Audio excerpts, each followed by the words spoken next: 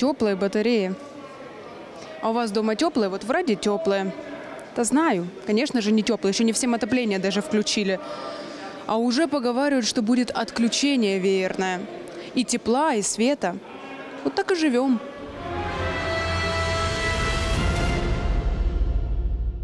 Веерне відключення не буде? Не буде. Точно, обіцяєте. Ну, обіцяю. Ну, наскільки, просто- це, наскільки, це, наскільки це взагалі е, можливо пообіцяти, я вважаю, що не буде. Е, Тому що я зараз і вчора почула по новинах неодноразово про те, що треба економити, і прем'єр-міністр казав, треба економити. Економити взагалі треба все, що це, це економіка повинна бути економною. Але е, те, що говорили, говорити про е, відключення електроенергії, я думаю, що підстав зараз для цього жодних немає. Премьер-министру нужно больше работать, чтобы этих проблем не было. Увеличивать добычу угля, и тогда этого всего не будет. Наверное, отключение света уже происходит по всей стране. Дело в том, что на складах не хватает угля, должно быть 2 миллиона 800 тысяч тонн угля. А сегодня на складах осталось более ну, 300 всего лишь э, тысяч тонн. Это в 6 раз практически меньше, чем должно быть на складах. Это э, коллапс энергетический, и уже многие города, и не только свет, и тепло тоже отключают. До сих пор не включены детские сады, школы э, под газ, потому что было заложено в бюджет цена газа 7,90, а сегодня цена на газ 35 гривен.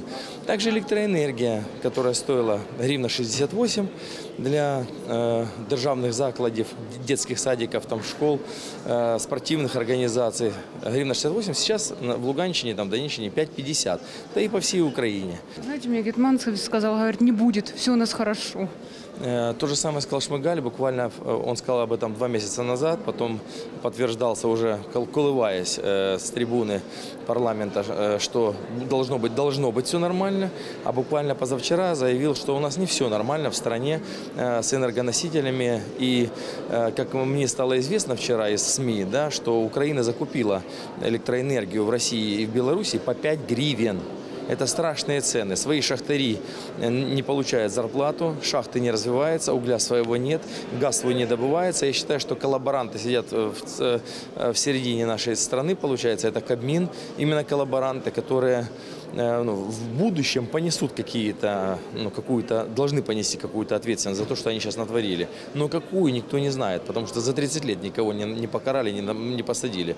Человек украдет курицу, ему дают 15 лет тюрьмы.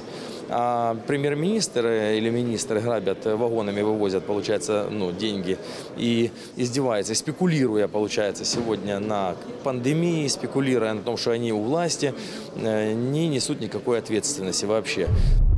Не цього не буде, тому що зараз ми застосували е, аварійне підключення із Словаччини, е, так само е, і по міжнародним угодам.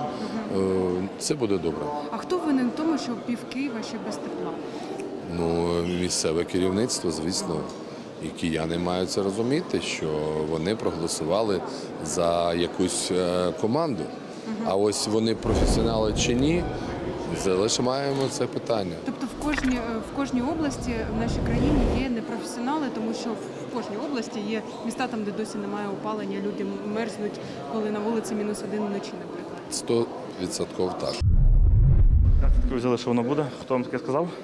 А у нас разве проблем нет? Що Прем'єр-міністр сказав. Що буде воєнне включення? Ну тоді до нього звертайтеся за уточнюючими питаннями. То ви вважаєте, що не буде? Я, я таких інформацій не маю ніякої. Если будет верное отключение света и тепла, я требую, чтобы оно в первую очередь было здесь, в Верховной Раде Украины, в Кабинете министров Украины и в офисе президента Украины, если оно будет.